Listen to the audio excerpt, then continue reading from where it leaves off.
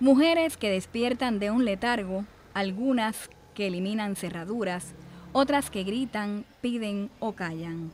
Todo un mundo interior fascinante, el femenino, revela a la artista de la plástica Yamila Coma, quien se integra con su expo personal a la duodécima Bienal de Escultura Rita Longa.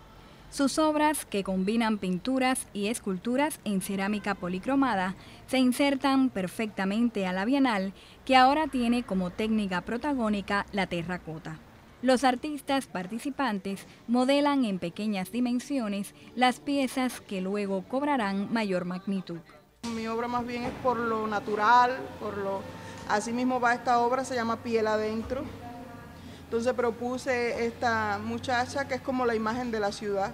Hay muchas piezas que son interactivas y van a tener esa oportunidad de, ser parte de nuestro entorno social. Es una pieza que va a recrear toda la fauna extinta del país. Toda mi obra, tanto mm, plana como escultura de gran formato, está, está más bien relacionada con la naturaleza. El trabajo en taller, los eventos teóricos, las exposiciones fascinantes como la de Yamila Coma todo un programa pleno de propuestas que conforman una bienal que sin dudas dejará su impronta en bellas esculturas. Fue un reporte de Waldina Almaguer y Anibis Dabarta para LTV Noticias.